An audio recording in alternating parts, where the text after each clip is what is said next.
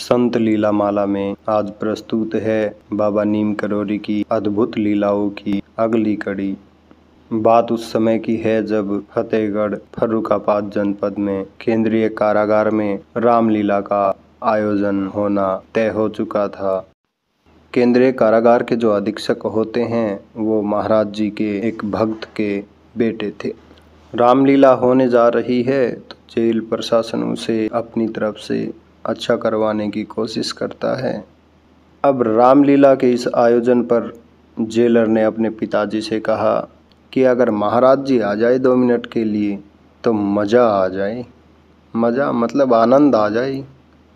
महाराज जी के पास निवेदन पहुँचता है उनके पिताजी के द्वारा और महाराज जी कहते हैं, ठीक है, हम आते हैं।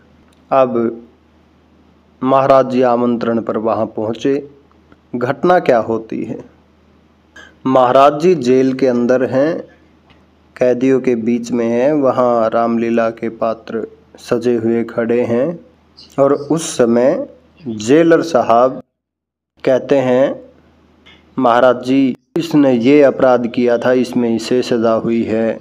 ये यहाँ पर शत्रुघ्न की भूमिका में है। इसने ये अपराध किया है।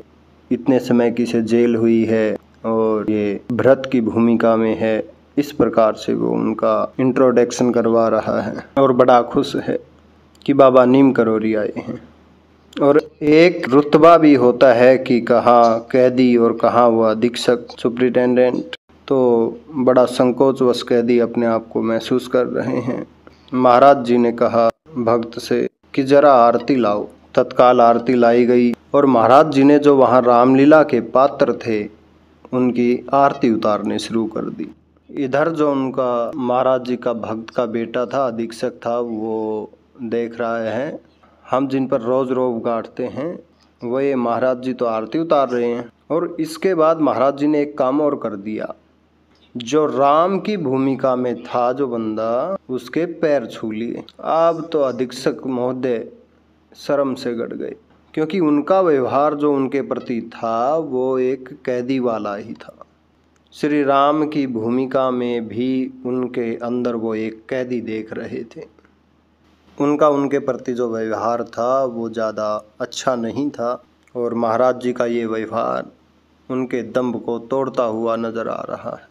महाराज जी ने, क्योंकि राम मिले, जिस रूप में भी मिले, नमन करना ही था तो मित्रों, स्थान कोई भी हो, कैसा भी हो व्यक्ति को अपनी शालीनता नहीं खोनी चाहिए। पद आते हैं चले जाते हैं।